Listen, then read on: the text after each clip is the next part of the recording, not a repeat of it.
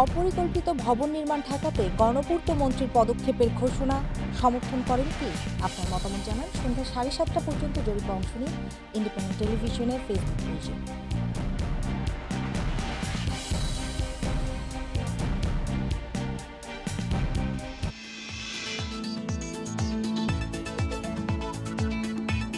তেজগা সংবাদ সন্ধ্যা নিয়ে আপনাদের সামনে আছি আমি সুমন জাহিদ হোসেন, জানাব বার্তা কক্ষের সর্বশেষ।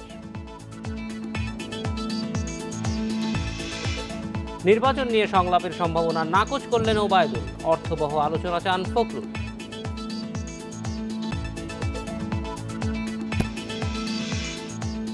ফেব্রুয়ারির প্রথম সপ্তাহে উপজেলা পরিষদ নির্বাচনে তফসিল কয়েক ধাপে ভোট শুরু মার্চে।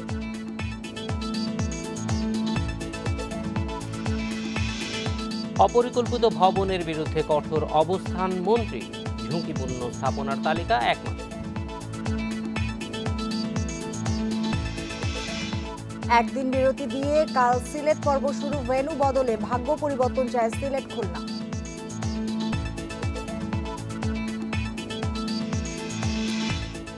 আপনাদের সমস্যার সংকট আর সম্ভাবনার কথা বলুন লিখুন আমাদের ফেসবুক পেজে আপনাদের কথা নিয়ে আসব খবরের শেষ অংশে।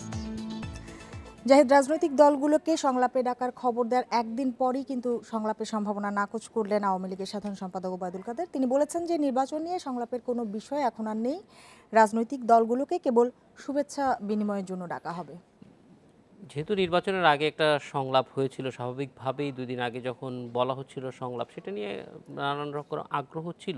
তবে আজকে ওবায়দুল কাদের বিষয়টা নিশ্চিত করলেন যে এটি আসলে ঠিক সেই অর্থে সংলাপ হ্যাঁ এটা এটার কোনো মানে রাজনৈতিক সেই রকম মানে ভবিষ্যৎ দেখি না। যদিও ফখরুল বলছেন যে এজেন্ডা ঠিক করে অর্থাৎ ফখরুলের বক্তব্য থেকে মনে হয় তারা আসলে নির্বাচনের আগের মতোই একটা সংলাপ চান এবং সেখানে নির্বাচন বিষয়ে তারা আলোচনা করতে চান।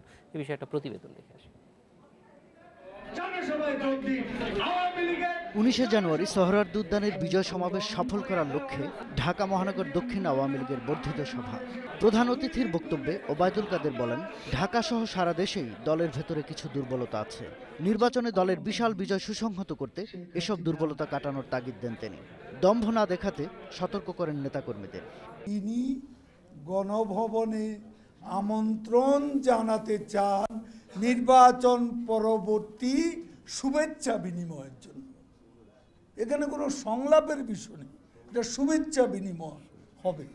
নির্বাচনের আগে সংলাপে অংশ নেওয়া রাজনৈতিক দলগুলোকে প্রধানমন্ত্রীর আমন্ত্রণ জানানোর প্রসঙ্গেও কথা বলেন আওয়ামী লীগ সাধারণ সম্পাদক। বলেন যেখানে সারা বিশ্ব নির্বাচনের জন্য প্রধানমন্ত্রীকে অভিনন্দন জানাচ্ছে সেখানে নির্বাচন নিয়ে আর কোনো সংলাপের সুযোগ নেই। এ মহাবিজয়ে যেন কেউ মহাদাপট দেখাতে না যায়। দাপট কেউ পছন্দ করে না। জনগণের সামনে আরও বিনয়ী হবেন এ মহাবিজয় থেকে। ছুটির দিন হলেও আওয়ামী লীগের বিজয় সমাবেশের জন্য সম্ভাব্য জনদুর্ভোগের জন্য আগাম দুঃখ প্রকাশ করেন ওবায়দুল কাদের। ঠিক সেভাবেই প্রস্তুতি নিয়ে যাবেন। Shahadat Swapan independent news Dhaka. এ বিষয়ে আলোচনার জন্য আমাদের সঙ্গে যোগ দিয়েছেন সহকর্মী সাদাত স্বপন। স্বপন সংলাপের কথা শোনা গিয়েছিল এখন শুভেচ্ছা বিনিময়ের কথা বলা হচ্ছে। এর কারণ আসলে কি? না দেখুন কারণ আসলে যেদিন ওবায়দুল কাদের বিষয়টা জানিয়েছিলেন যে গণভবনে প্রধানমন্ত্রী সহ আওয়ামী লীগের যে একটি আহ, বৈঠক হয়েছিল সেই বৈঠকে প্রধানমন্ত্রী এরকম ইচ্ছা প্রকাশ করেছিলেন যে নির্বাচনের আগে যেসব যে পঁচাত্তরটি দলের সাথে প্রধানমন্ত্রী সংলাপ করেছিলেন তাদেরকে আবার ডাকবেন তাদের সাথে আলোচনা করার জন্য। বিষয়টা আসলে আজকে ওবায়দুল কাদের বলেছেন যে, বিভিন্ন গণমাধ্যমে এসেছে যে, আমরা আবার সংলাপের জন্য ডেকেছি, এটা ভুল। তিনি বলেছেন যে, সংলাপের জন্য নয়, মূলত যে দলগুলি নির্বাচনের আগে সংলাপে অংশ নিয়েছিল, তাদের সাথে আসলে এখন নির্বাচন যেহেতু শেষ, সেক্ষেত্রে যারা অংশ নিয়েছিল, তাদের সাথে প্রধানমন্ত্রী শুভেচ্ছা বিনিময়ের জন্য এবং বলা যায় যে মত বিনিময়ের জন্যই মূলত তাদের ডাকার জন্য একটা প্রস্তুতি এবং প্রধানমন্ত্রী একটা ইচ্ছা প্রকাশ করেছেন এবং সে অনুযায়ী প্রধানমন্ত্রী কার্যালয়ের পক্ষ থেকে প্রত্যেকটি দলকেই আনুষ্ঠানিকভাবে চিঠি দিয়ে আমন্ত্রণ জানানো হবে। এবং আমরা প্রশ্ন করেছিলাম যে ওবায়দুল কাদেরকে তাহলে কী নিয়ে সংলাপ হবে। তিনি বলেছিলেন যে যদি সেই দলগুলি সেখানে প্রধানমন্ত্রীর আমন্ত্রণে আসে, সেক্ষেত্রে তাদের সাথে যে দলগুলি এখনও শপথ নেয়নি, যারা নির্বাচিত হয়েছে, সংসদে এখনও যারা শপথ নেননি সংসদ সদস্য হিসেবে তাদের সংসদে যোগ দেওয়ার গুরুত্ব, যৌক্তিকতা তারা তুলে ধরতে পারবেন এবং তারা তাদের আগে যে তাদের প্রতি যে আহ্বান জানিয়েছেন, সেটি আবার নতুন করে তারা আহ্বানটা জানাতে পারবেন। এরকম একটি কথা ওবায়দুল কাদের গণমাধ্যমকে কিন্তু গতকাল বলেছিলেন। সাদা স্বপন, এই সংলাপের প্রসঙ্গে যখনই এসেছে, আসলে সেটা যেভাবেই আসুক না কেন একটা রাজনৈতিক আলোচনার আবহ তৈরি হচ্ছে। সেখানে প্রধানমন্ত্রী যেহেতু একটা বিশাল বিজয়ের পরে তার অন্যান্য রাজনৈতিক দলগুলোর সঙ্গে বসে ভবিষ্যতে রাষ্ট্র পরিচালনা নিয়ে কোনো ধরনের আলোচনা, পরামর্শ চাইতে পারেন, এরকম কোনো আলোচনা আছে? নাকি শুধুমাত্র শুভেচ্ছা বিনিময়, ধন্যবাদ জ্ঞাপন? না, সেটা হতে পারে। প্রাসঙ্গিকভাবে সে বিষয়গুলো আসতে পারে। সব রাজনৈতিক দলগুলির সহযোগিতা চাইতে পারেন প্রধানমন্ত্রী। যদিও ওবায়দুল কাদের এই বিষয়গুলি বলেননি, কিন্তু যেহেতু তাদেরকে ডাকা হয়েছে, তাদের সাথে বেশ কিছুটা সময় প্রধানমন্ত্রী কাটাবেন এবং ব্যক্তিগতভাবে তাদের সাথে কথা বলার সুযোগ হবে, সেক্ষেত্রে সব রাজনৈতিক দলের সহযোগিতা নিয়ে দেশকে আরও সুন্দরভাবে যেন আগা, এগিয়ে নেওয়া যায়, সে বিষয়ে প্রধানমন্ত্রী নিশ্চয়ই তাদের পরামর্শ চাইতে পারেন। ধন্যবাদ শাহাদ স্বপন। এর আগে বিএনপি মহাসচিব মির্জা ফখরুল ইসলাম আলমগীর জানান, আলোচ্য সূচি জানার পরই প্রধানমন্ত্রীর সঙ্গে সংলাপের বিষয়ে বিবেচনা করবে ঐক্যফ্রন্ট। সিলেট শাহজালালের মাজার জিয়ারত শেষে তিনি বলেন, অর্থবহ আলোচনা চান তারা। নির্বাচনের চোদ্দ দিন পর সিলেট সফরে যান জাতীয় ঐক্যফ্রন্টের সিনিয়র নেতারা। এই সফরে মির্জা ফখরুলের সঙ্গে ছিলেন জেএসডির আসম আব্দুর রব, কৃষক, শ্রমিক জনতা লীগের কাদের সিদ্দিকী, গণফোরামের মোস্তফা মুহসিন মন্টু ও সুব্রত চৌধুরী। মির্জা ফখরুল বলেন প্রধানমন্ত্রী সংলাপের আহ্বান জানিয়েছেন, কিন্তু আগের মতো আলোচনা হলে তা অর্থবহ হবে না। একাদশ সংসদ নির্বাচন বাতিলই ঐক্যফ্রন্টের মূল এজেন্ডা বলেও উল্লেখ করেন তিনি। মাজার জিয়ারত শেষে নির্বাচনের দিন নিহত ছাত্রদল নেতা সাইম আহমদ সুহেলের পরিবারের সদস্যদের সান্ত্বনা জানান ঐক্যফ্রন্ট নেতারা। গতবারের মতো সংলাপ হয়, তাহলে সেই সংলাপ কখনোই অর্থবহ হবে না। আর তাছাড়া সংলাপের এজেন্ডাটা কি? তিনি সেই এজেন্ডা জানাবেন যে আমরা এই এজেন্ডা আলোচনা করতে চাই। তখনই আমরা সেই বিষয়ে বিবেচনা করব। আমাদের এজেন্ডা তো একটা এই নির্বাচনকে বাতিল করতে হবে পুনরায় নিরপেক্ষ সরকার অধীনে নির্বাচন দিতে হবে জনগণের অধিকারকে প্রতিষ্ঠা করার জন্য। উপজেলা নির্বাচনের তফসিল ঘোষণা করা হবে ফেব্রুয়ারির প্রথম সপ্তাহে আর মার্চের প্রথম সপ্তাহ থেকে ধাপে ধাপে ভোট হবে বলে জানিয়েছেন নির্বাচন কমিশন সচিব হেলাল উদ্দিন আহমদ। এছাড়া সংরক্ষিত নারী আসনে নির্বাচনের তফসিল ঘোষণা করা হবে সতেরোই ফেব্রুয়ারি। নির্বাচন কমিশন সচিবালয়ে বিকেলে প্রধান নির্বাচন কমিশনার কে এম নুরুল হুদার নেতৃত্বে কমিশনারদের বৈঠকে এ সিদ্ধান্ত হয়। বৈঠক শেষে ইসি সচিব জানান, সংরক্ষিত আসনে কেউ জোটবদ্ধ নির্বাচন করতে চাইলে তিরিশ জানুয়ারির মধ্যে কমিশনকে জানাতে হবে। বারো ফেব্রুয়ারি প্রকাশ হবে ভোটার তালিকায়। ইসি সচিব জানান, পঞ্চম উপজেলা নির্বাচনে তফসিল ঘোষণা করা হবে ফেব্রুয়ারির প্রথম সপ্তাহে। জেলা সদরগুলোতে ভোট হবে ইভিএমে। এক প্রশ্নের জবাবে ইসি সচিব জানান, একাদশ জাতীয় সংসদ নির্বাচন বাতিল এবং নিরপেক্ষ সরকারের অধীনে নির্বাচনের বিষয়ে ঐক্য ফ্রন্টের দাবি মানার কোনো সুযোগ নেই। পঞ্চম উপজেলা পরিষদ নির্বাচন, এটা প্রাথমিক সিদ্ধান্ত হয়েছে এইরূপ, সেটি হলো যে আগামী মার্চের প্রথম সপ্তাহ থেকে ধাপে ধাপে বিভাগ ওয়ারি যে প্রশাসনিক যে বিভাগ আছে, ওই বিভাগ ওয়ারি এই নির্বাচন অনুষ্ঠিত হবে। ফেব্রুয়ারির প্রথম সপ্তাহেই আমরা বিস্তারিত তফসিল ঘোষণা করতে পারব। সদর উপজেলাগুলোতে ইভিএম ব্যবহার করার একটা প্রাথমিক সিদ্ধান্ত হয়েছে। সংরক্ষিত আসনে ক্ষমতাসীন দলের সংসদ সদস্য হতে তৎপরতা চালাচ্ছেন নারী নেত্রীরা। আওয়ামী লীগ সভাপতি প্রধানমন্ত্রী শেখ হাসিনার সঙ্গে দেখা করার চেষ্টা করছেন অনেকে। আবার অনেকে প্রধানমন্ত্রীর আস্থা ভাজনদের সঙ্গে দেখা করে মনোনয়নের তদবিত করছেন। তবে আওয়ামী লীগের কেন্দ্রীয় নেতারা বলছেন ত্যাগী নেতাদেরই মূল্যায়ন করা হবে প্রাধান্য পাবে নতুন মুখ। আমি শিরিন শারমিন চৌধুরী। নির্বাচন ও সরকার গঠনের পর সামনে এসেছে একাদশ জাতীয় সংসদে সংরক্ষিত নারী আসন। সংরক্ষিত আসনে আওয়ামী লীগের মনোনয়ন প্রত্যাশীরা মঙ্গলবার থেকে দলীয় মনোনয়ন ফর্ম সংগ্রহ করতে পারবেন। এসব আসনে সংসদ সদস্য হতে দলের প্রায় দুইশো নেতাকর্মী প্রত্যাশায় আছেন। যখন দল ক্ষমতায় ছিল না, তখন তো আমাদের ভূমিকা অনেক বেশি ছিল। তখন আমরা দলকে সুসংগঠিত করেছি, রাজপথে থেকে সমস্ত গণতান্ত্রিক আন্দোলনে আমি অংশগ্রহণ করেছি এবং নেতৃত্ব দিয়েছি। আর এই কারণেই আমার আশা যে নেত্রী আমাকে মনোনয়ন দেবেন। আওয়ামী লীগ করতে যেয়ে আমি অনেক ত্যাগ স্বীকার করেছি। আমার নামে অনেক মামলা হামলা হয়েছে। আমি ঘর বাড়ি ছিলাম বাড়ি ছাড়া ছিলাম। আমার জামাতাকে রাস্তায় কুপিয়ে হত্যা করেছে নৃশংসভাবে। আমি বগুড়ার মতো জায়গা থেকে ইউনিয়ন পরিষদে একবার ছিলাম পৌরসভা দুইবার ছিলাম। নির্বাচিত হয়ে ভোটের মাধ্যমে ইলেকশন করে আমি নির্বাচিত হয়েছি। দলীয় সূত্রে জানা গেছে নতুনদের সুযোগ দিতে দশম সংসদে যারা এমপি ছিলেন তাদের বেশিরভাগই বাদ পড়তে পারেন। মনোনয়ন পেতে পারেন চোদ্দ দলের নেত্রীরাও। প্রধানত তিনটে জিনিস আমরা দেখব। এক নম্বর হচ্ছে তার রাজনৈতিক কর্মকাণ্ড। তিনি রাজনীতিতে কোথায় কী কী কী ধরনের কাজ করেছেন দেশের প্রতি দলের প্রতি কী কন্ট্রিবিউট করেছেন? দুই নম্বর এলাকাতে তার জনপ্রিয়তা, যে এলাকার জন্য তিনি নমিনেশন চাচ্ছেন, সেই এলাকায় তার জনপ্রিয়তা বা তার গ্রহণযোগ্যতা বা সেখানে তিনি কী কী করেছেন? আর অবশ্যই তিন নম্বর, তার ব্যক্তিগত যে ব্যাপারগুলো, শিক্ষাগত যোগ্যতা থেকে শুরু করে তার দলের সাথে সম্পৃক্ততায়। একাদশ জাতীয় সংসদের প্রথম অধিবেশন শুরুর আগেই সংরক্ষিত আসনের সদস্যরা নির্বাচিত হতে পারেন। তিরিশে ডিসেম্বরের ভোটে প্রাপ্ত আসন সংখ্যার অনুপাতে এবার সংরক্ষিত পঞ্চাশটি আসনের মধ্যে আওয়ামী লীগ পাবে তেতাল্লিশটি। অনিমেষ কর ইন্ডিপেন্ডেন্ট নিউজ ঢাকা। সাভারে শ্রমিক বিক্ষোভ সামাল দেওয়ার সময় কথা কাটাকাটির জেরে ম্যাজিস্ট্রেটকে লাঞ্ছিত করার ঘটনার প্রমাণ মিলেছে। ঢাকার একজন অতিরিক্ত জেলা ম্যাজিস্ট্রেটের নেতৃত্বে প্রতিবেদন দিয়েছে তদন্ত কমিটি।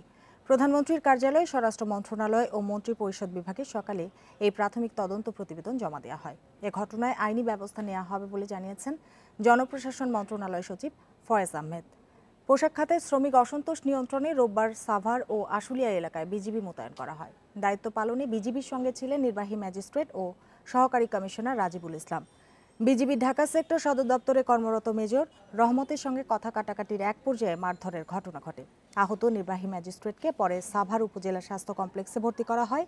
এ ঘটনায় আনুষ্ঠানিক প্রতিবাদ জানিয়েছে প্রশাসন ক্যাডারের কর্মকর্তাদের সংগঠন, বাংলাদেশ অ্যাডমিনিস্ট্রেটিভ সার্ভিস অ্যাসোসিয়েশন। যে ইনসিডেন্ট হয়েছে এটি যথাযথ কর্তৃপক্ষ পর্যবেক্ষণ করছে এবং এ বিষয়ে যে ব্যবস্থা গ্রহণে সেটা স্ব কর্তৃপক্ষ নেবেন বলে আমি বিশ্বাস করি। আইনসঙ্গতভাবেই এটা ব্যবস্থা হবে। যাই নতুন বেতন কাঠামো ঘোষণার পর কিন্তু আজকে শ্রমিকরা কাজে ফিরেছেন আর দিনের অসন্তোষের পর সাভার এবং আশুলিয়ায় যে আহ, বিক্ষোভ চলছিল সেটি এখন মোটামুটি শান্ত।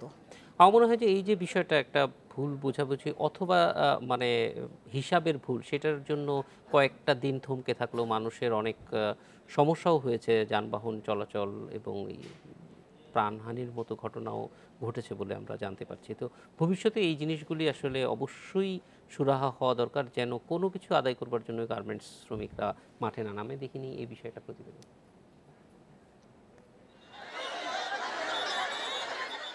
ন্যূনতম মজুরির কয়েকটি গ্রেড নিয়ে আপত্তি জানিয়ে ছয় জানুয়ারি থেকে কাজ বন্ধ রেখে বিক্ষোভ করে বিভিন্ন পোশাক কারখানার শ্রমিকরা। এই প্রেক্ষাপটে মালিক শ্রমিক ও প্রশাসনের ত্রিপক্ষীয় কমিটি রোববার বৈঠক করে ছয়টি গ্রেড সংশোধন করে। এরপরই বেতন বাড়ানোর ঘোষণা দেয় সরকার। ওই বৈঠকের পর থেকে কাজে ফেরে শ্রমিকরা। আজ প্রতিটি কারখানায় ঢোকার সময় শ্রমিকদের চোখে মুখে ছিল স্বস্তির ছাপ। আমরাও খুশি, সরকারের তো মনে করেন এইটাই দায়িত্ব যে আমাদেরকে ঠিক মতন কাজ সব কিছু দেওয়ার দায়িত্ব। বেতনটা বাড়াইছে। এই এই- এইটা যদি এটা সব যে আমাদের স্যারেরা যদি বাড়ায় এভাবে তাহলে আমরা অনেক খুশি। আমরা চাই কাজ করতে। আমরা পেটে দেয় কাজ করি জানি আমরা সরকার বেতন বাড়াচ্ছে তাতেই আমরা খুশি। কারখানা কর্তৃপক্ষ বলছেন সব পক্ষ নতুন মজুরি কাঠামো মেনে নেয় কারখানায় ফিরেছেন শ্রমিকরা। সম্পূর্ণ শান্তিপূর্ণ পরিবেশ বজায় রেখে কাজ করছেন তারা।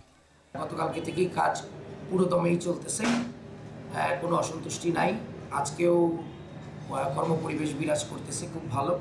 আশা করতেছি আমরা এখন থেকে আহ, পুরোদমেই ফ্যাক্টরি চালাতে পারব। সরকার যে গ্রেডটা ডিক্লেয়ার করেছে সে অনুযায়ী আমরা প্রত্যেককে ওই গ্রেড অনুযায়ী পেমেন্ট করেছি।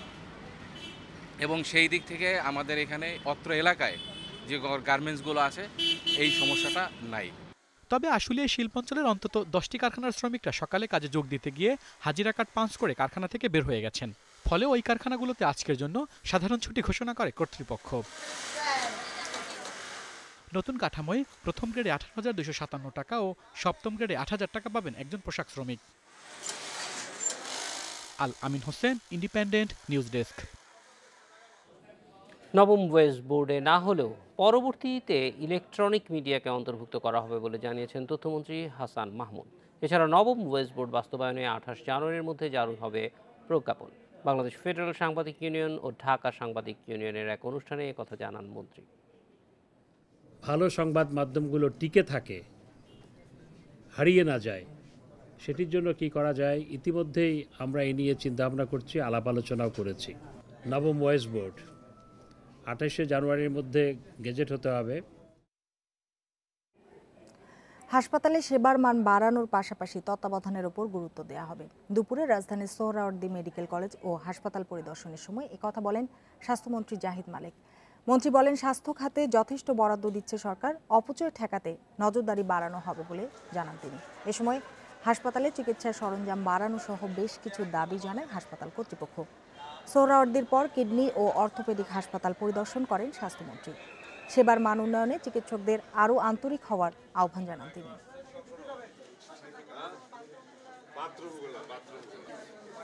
এবার আমার ফোকাস থাকবে অন সুপারভিশন অ্যান্ড মনিটরিং এই সরকার আমাদেরকে অনেক স্বাস্থ্য খাতে বাজেট দিয়েছে। অনেক অবকাঠামো তৈরি হয়েছে। স্বাস্থ্য সেবা সম্বন্ধে কেন লোকে ভালো বলবে না? অবশ্যই ভালো বলবে। আমরা শুধু সুপারভিশনটা যদি ভালো করতে পারি। জাহেদ ঢাকার পরিধি বাড়লেও কিন্তু সেটা পরিকল্পনা মাফিক হচ্ছিল না। তবে আজকে ঢাকায় কোনো পরি- পরিকল্প, অপরিকল্পিত ভবন নির্মাণ করতে দেয়া হবে না, সাফ জানিয়েছেন গৃহায়ন ও গণপূর্ত মন্ত্রী। এটা অবশ্য মানে আজকেই আমি খুব উৎসাহিত হচ্ছি না। আমি আশা রাখছি যে তিনি এরকম ঘোষণা, এর আগেও তার পূর্ববর্তী বহু গৃহায়ন ও গণ, গণপূর্ত মন্ত্রী এরকম ঘোষণা দিয়েছেন এবং ফলাফল আমাদের চোখের সামনে আছে। আমরা দেখতে চাই যে এই অবস্থাগুলি ঝুঁকিপূর্ণ যেই ভবনগুলি চিহ্নিত হয়েছে ইতিমধ্যে। নতুন করে চিহ্নিত করতে হবে না। সেগুলির বিরুদ্ধে- বিরুদ্ধে ব্যবস্থা নেওয়া হচ্ছে। আমরা এই বিষয়ে একটা প্রতিবেদন দেখব বাড়ছে ঢাকার পরিধি। তবে এতে পরিকল্পনার ছাপ খুবই কম। প্রতিদিনই গড়ে উঠছে নতুন নতুন ভবন। কিন্তু অনেকেই নীতিমালা মানছেন না বলে অভিযোগ আছে।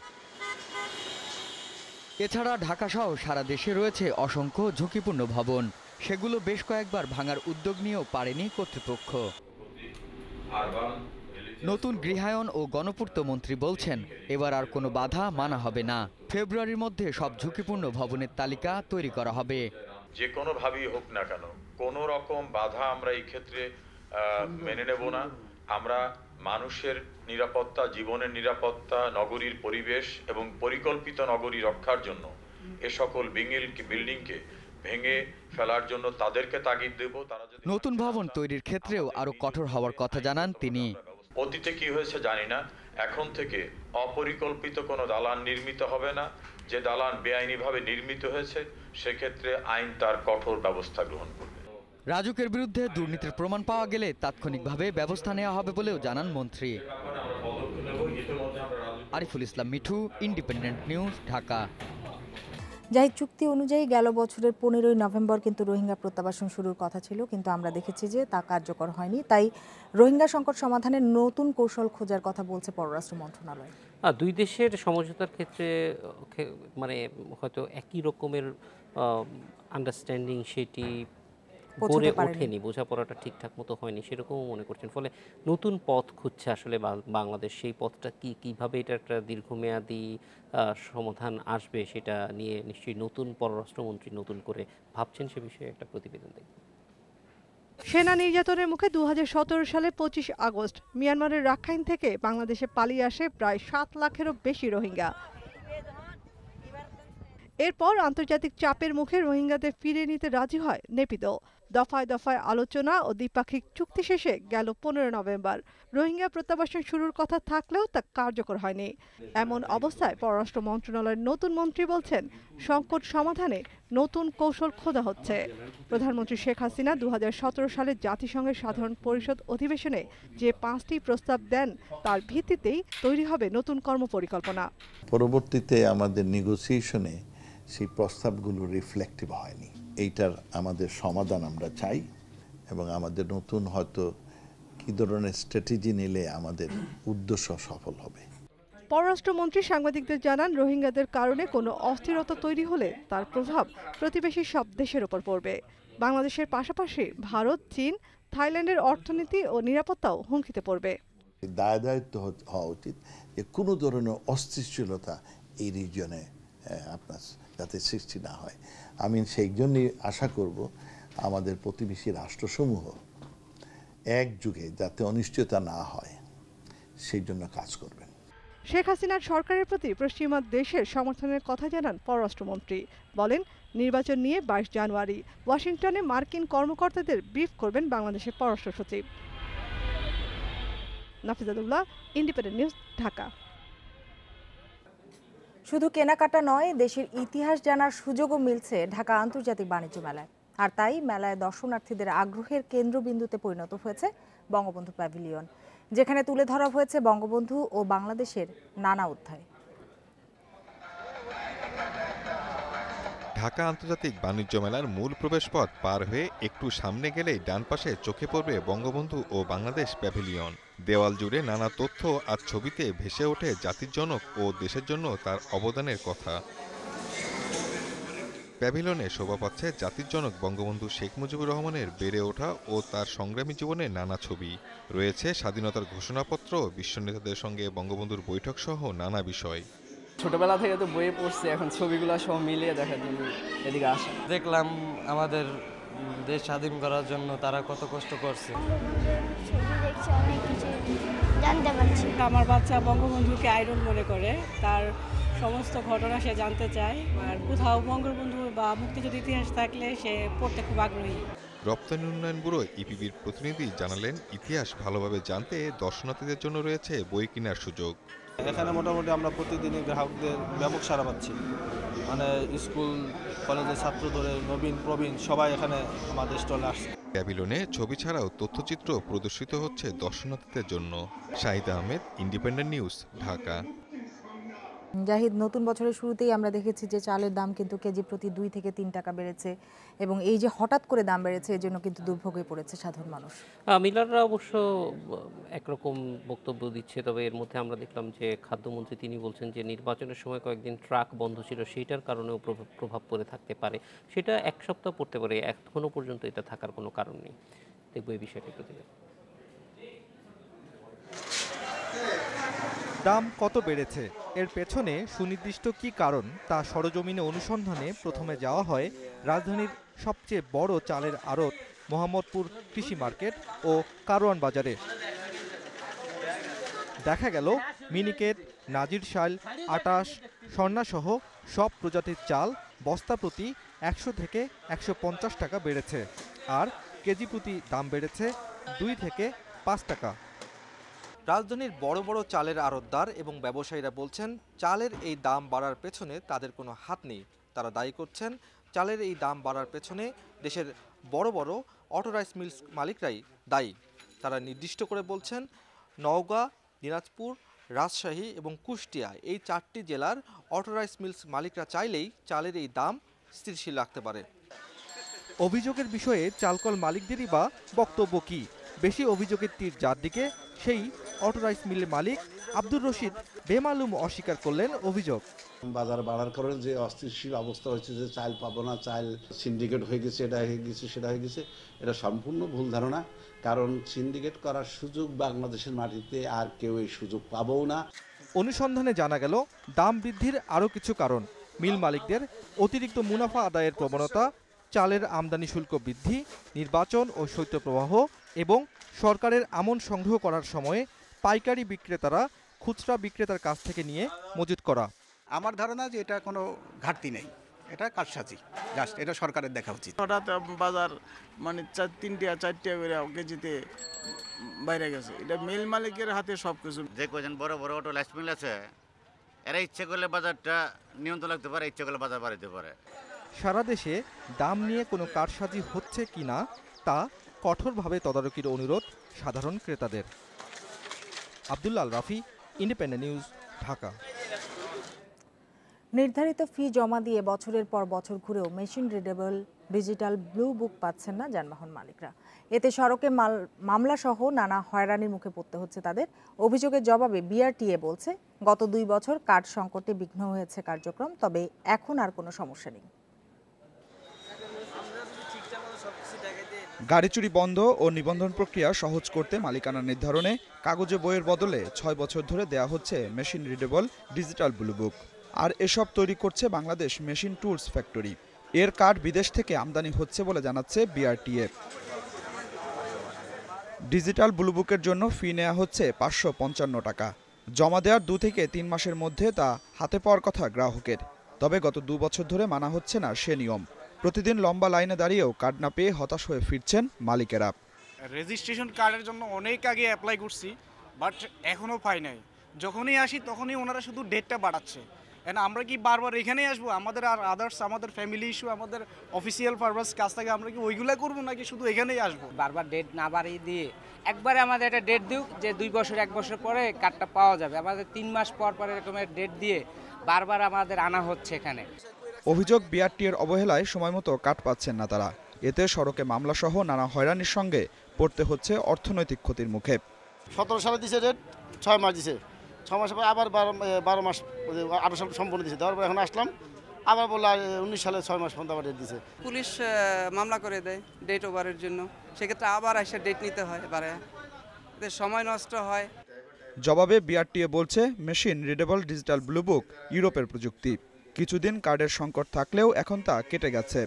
কাস্টম সংক্রান্ত কিছু জটিলতার কারণে আমদানি পর্যায়ে কিছু আহ, কার- কাঠ স্বল্পতার কারণে বা ঠিকমতো আমদানি করতে না পারায় কিছু জটিলতা হয়েছিল। তবে এটা সমস্যা এই সমস্যাটা এখন নাই।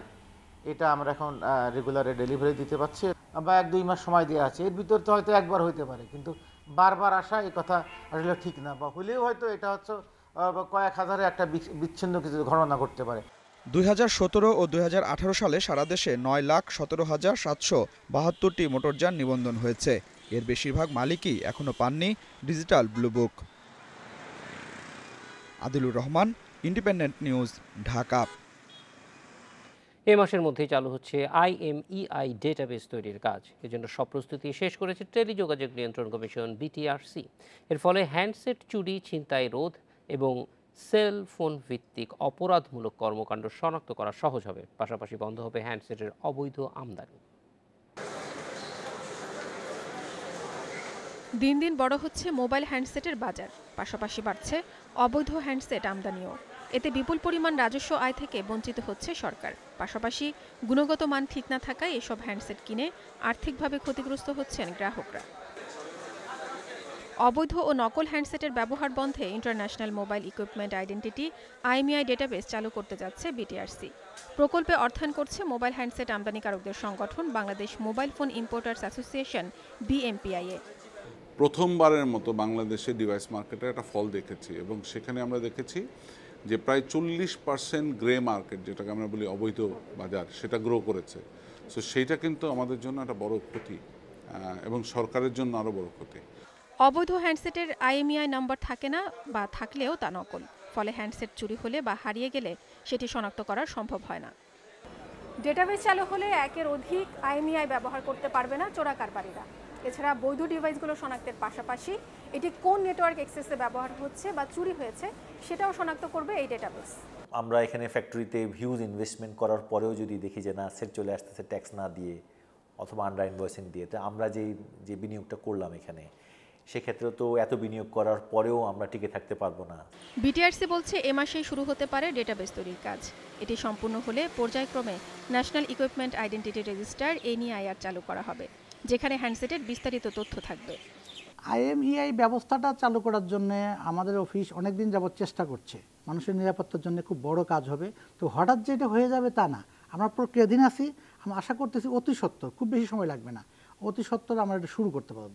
দেশে বর্তমানে মোবাইল হ্যান্ডসেটের বাজার প্রায় দশ হাজার কোটি টাকার যার ত্রিশ শতাংশই অবৈধভাবে আসে বলছে আমদানিকারকরা আইএমইআই ডেটাবেস তৈরি হলে এসব হ্যান্ডসেটের প্রবেশ বন্ধ হবে বলে আশা করছেন তারা। Mousumi Akter independent news Dhaka. পৌষের শেষ দিনে দেশের নানা প্রান্তে উদযাপিত হয়েছে পৌষ সংক্রান্তি।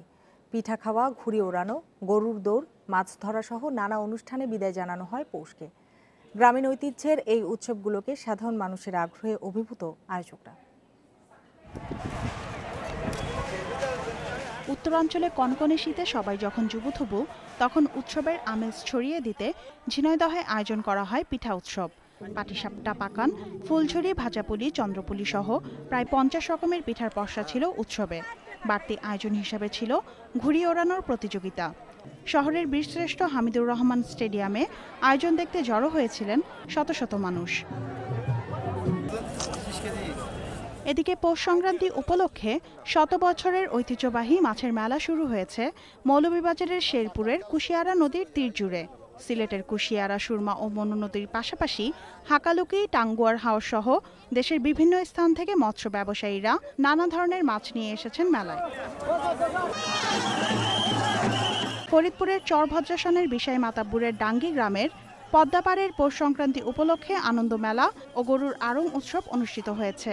রোববার বিকেল চারটায় উৎসবের উদ্বোধন করেন ফরিদপুর চার আসনের সংসদ সদস্য মুজিবুর রহমান চৌধুরী নিক্সন। আমাদের প্রশাসনের পক্ষ থেকে আমাদের সহযোগিতা করা হয় এবং আমার তিন থানার জনগণ এবং পার্শ্ববর্তী দুহার থানা থেকেও অনেকে গরু নিয়ে আসেন। এই গ্রাম বাংলার ঐতিহ্যকে টিকায় রাখার জন্য গরুর আড়ং উৎসবে বিভিন্ন এলাকা থেকে সুসজ্জিত প্রায় শতাধিক গরু ও তার মালিকরা অংশ নেন। এতে বিজয়ী তিনজন গরুর মালিককে পুরস্কৃত করা হয়। Shanila Sarkar independent news desk BPL এর সিলেট পর্ব শুরু হবে কাল। ঘরের মাঠে ভাগ্য ফেরাতে চায় সিলেট সিক্সার্স। কুমিল্লা ভিক্টোরিয়ান্সকে হারিয়ে শুরুর লক্ষ্য সিক্সার্সে।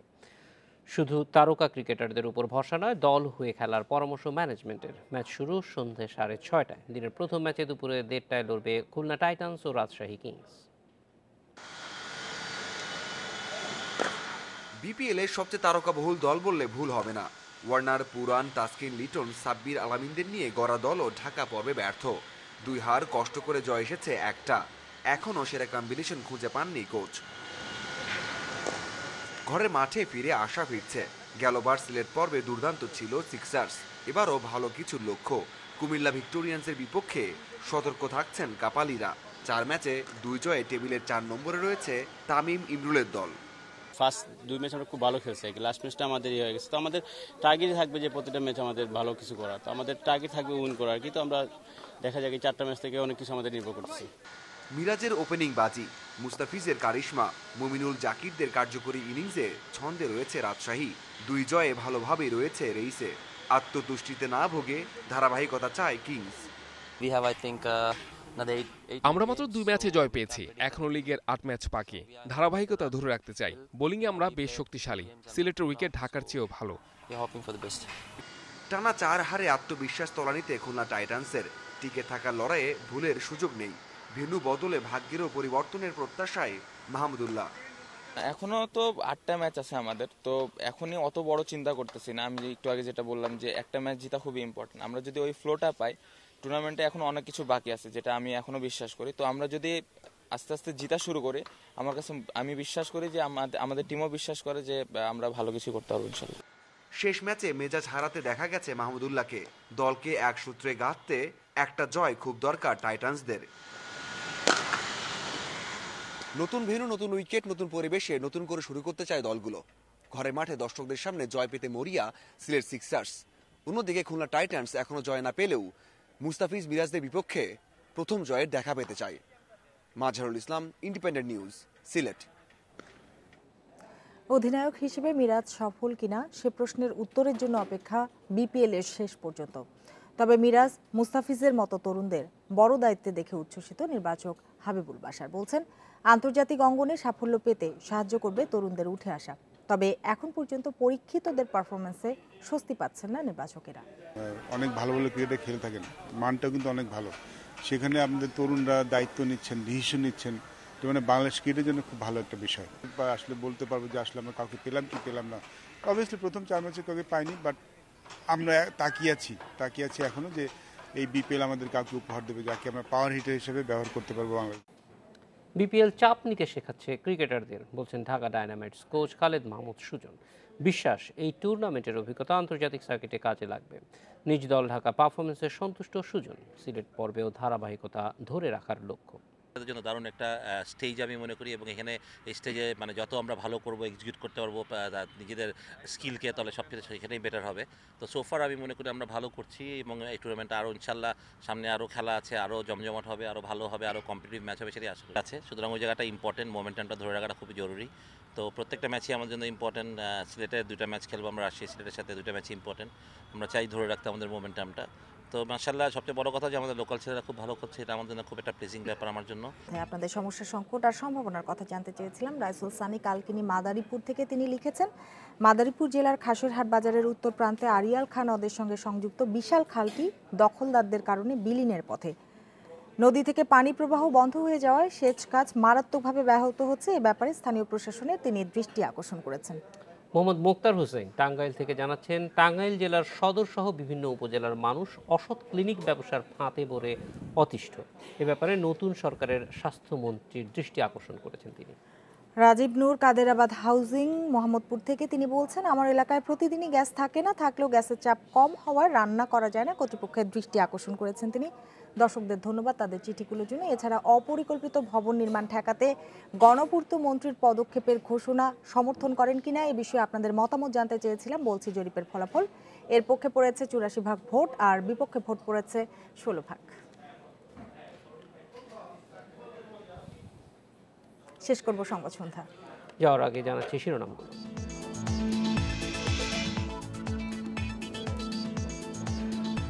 নির্বাচন নিয়ে সংলাপের সম্ভাবনা নাকচ করলেন ওবায়দুল অর্থবহ আলোচনা চান ফখরুল।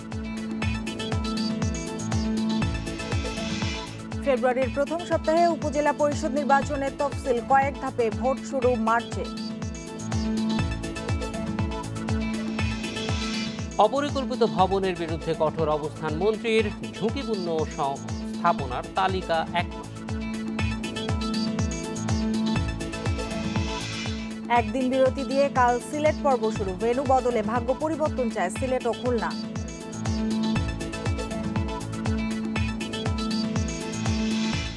আর এই ছিল আজকের সংবাদ